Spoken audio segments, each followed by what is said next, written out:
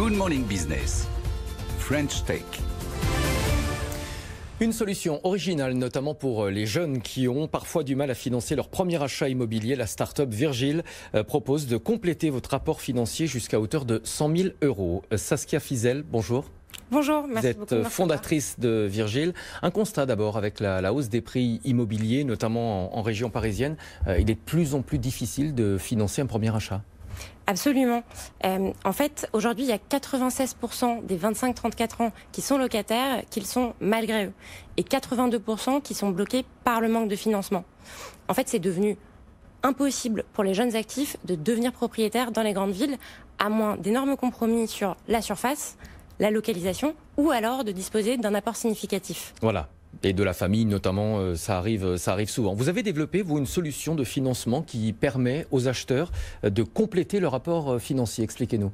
Exactement. Alors Virgile a inventé une solution totalement nouvelle qui s'appelle le capital immobilier. Finalement, le capital immobilier, c'est simple, c'est de l'investissement en capital, mais aux côtés des particuliers qui souhaitent devenir propriétaires. C'est-à-dire, vous n'êtes pas une banque, vous êtes un co-investisseur. Exactement. C'est toujours la banque qui fournit euh, la majorité du financement. Virgile vient simplement compléter par un apport complémentaire le financement pour permettre aux jeunes actifs de devenir propriétaires d'un bien qui leur correspond vraiment. Comment ça fonctionne? Comment est-ce que vous sélectionnez les dossiers? Alors concrètement, aujourd'hui, euh, si vous souhaitez devenir propriétaire, vous allez venir simuler votre capacité de financement sur le site de Virgile. Vous allez être épaulé par un spécialiste acquisition euh, de l'équipe qui va affiner avec vous votre projet et surtout calculer l'apport qui vous manque. Ensuite, vous allez partir à la recherche du bien de vos rêves. Vous allez euh, le trouver et Virgile va vous obtenir un crédit et compléter votre apport. Ensuite, vous signez votre acte de vente, vous êtes chez vous complètement chez vous et vous pouvez vendre à tout moment dans un délai de 10 ans. Vous vous occupez également du crédit, un peu On comme un broker? Alors, on s'occupe également du crédit, puisque comme on accompagne euh, le- les acquéreurs sur toute la partie euh, préalable à l'achat, on est vraiment un accompagnateur, euh, il fallait également qu'on les accompagne sur cette partie-là. Mhm. On dit souvent qu'on ne prête qu'aux riches.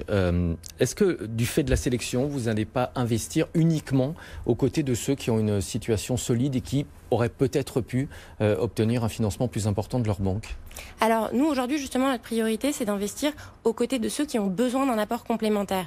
Donc, de fait, on investit aux côtés de gens qui peuvent se financer auprès de la banque, qui peuvent avoir un emprunt. Donc, ça veut dire des gens qui ont des revenus solides, euh, mais qui sont des gens qui n'ont pas de capital. Et donc, l'idée, c'est vraiment de leur donner ce coup de pouce de capital, qui n'est pas un capital familial, pour leur permettre, en fait, de sauter le pas.